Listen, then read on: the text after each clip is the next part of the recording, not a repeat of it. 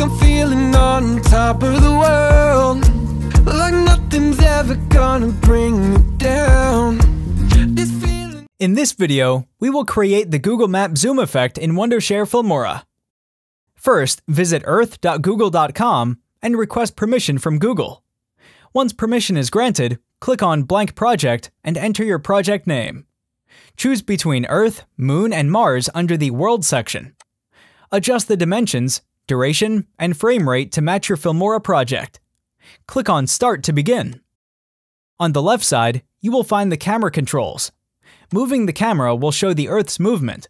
The timeline is also available. To create an effect, go to File and select New. Options such as Zoom to, Point to Point, Orbit, Spiral, and Fly to and Orbit will be displayed. Choose Point to Point for our effect, which moves the camera from one point to another. Specify the starting point by entering its location name and setting the camera position.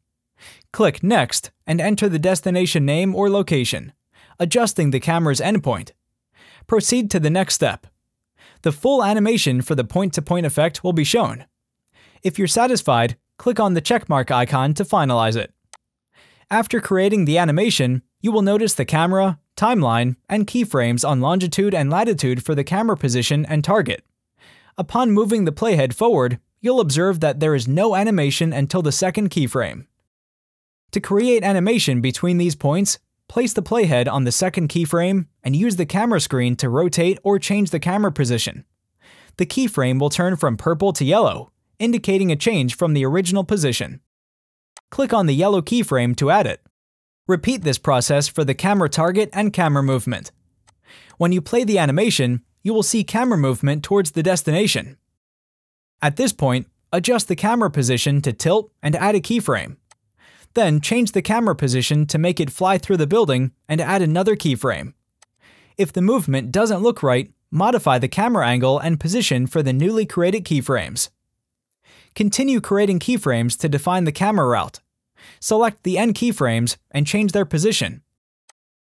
Create new keyframes at the end based on your original footage. Once you're satisfied with the overall animation, click on Render. Give a name to your animation and choose between image sequence or video. Image sequence can be downloaded immediately, while video rendering takes longer as it's a cloud render. Select Video and click on Submit.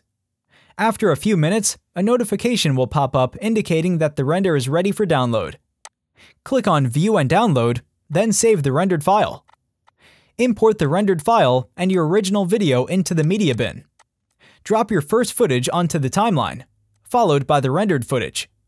Adjust the start duration of the render footage to determine how much of the starting animation you want to include. Place the end footage right after the render footage. Shift it to track 2 and decrease its opacity. Try to match the position and scale of the end footage to align with the render footage. Select the render footage and go to the color adjustment options such as exposure, brightness, contrast, vibrance, and saturation.